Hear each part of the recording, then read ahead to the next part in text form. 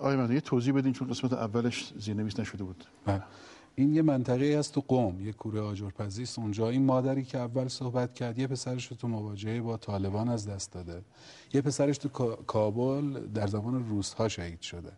آمده ایران با باقی مانده که یک فرزند دیگه مثل این که حدود 5 میلیون مثل که هزینه آمدنش به ایران شده. میگه که الان ما اومدیم اینجا فعلا باید ماها اینجا کار کنیم تا بتونیم اون بدهی انتقالمون به ایران رو بدیم که حالا قسمتی بود که ترجمه نشده بود.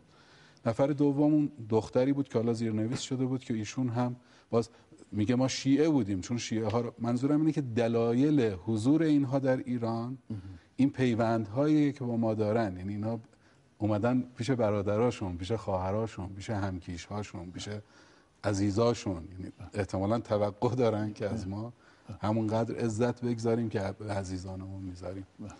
یه همچین موضوعی داره این قسمت. آینه ما چون آخر برنامه هستیم قبل از اینکه کاظمی سوال کنم شما فیلمی رو ساختید که در واقع یک یک به نظر یک چرخی رو شروع کرده. می‌تونید چیکار بکنیم که از این به بعد مسیر درست بشه اصلاح بشه احساس احساس خودی شدن رو واقعا احساس بکنیم و رسانه بود اینجا فعالیت بکنیم امیدوارم بعد از ما خبر و برنامه دیگه ادامه بدن این مسیر رو.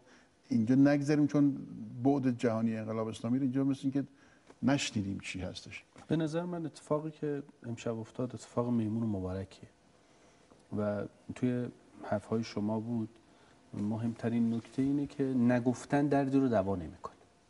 ببینید ما یه فیلمی ساختیم که حرفی رو به نظرمون زدیم که حرف عاشقانه بود و در بستر یک اجتماع. وقتی از اون بستر اجتماع بحث های امشب بیرون اومد از امشب بحث های بیرون میاد. و فکر می‌کنم که گفتنش بهترین کاره.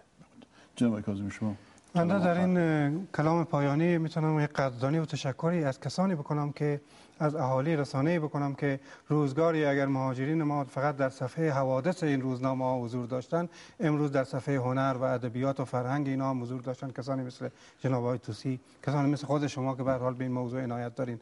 اهالی قلم ایران کسانی مثل محمد حسین جعفریان رضا امیرخانی یا مثلا جناب آقای مهدی خالقی که یک مستند بسیار مفصل به نام همزبانی و بیزبانی ساختند که درباره مسائل فرهنگی افغانستان بود و اولین بار افغانستان از منظر فرهنگ در رسانه های ایران دیده شد و از همه کسانی که به نوعی زبان بسته ما مردم بودند. چون زبان ما در بسیاری عرصه ها بسته بود اونها دوستان ایرانی که به واقع زبان ما مردم شدن از همه اینا باید صمیمانه قدردان باشیم تشکر می‌کنم حضور شما همه و انشالله که این بحث ادامه پیدا بکنه. تموم نشد این تازه شروع شده و یک وظیفه است به به عهده رسانه ملی که این, این مسائل جدی بگیره. فرصت نده به رقیب که بتونه حرف زیادی بزنه و سوء استفاده کنه از موقعیت.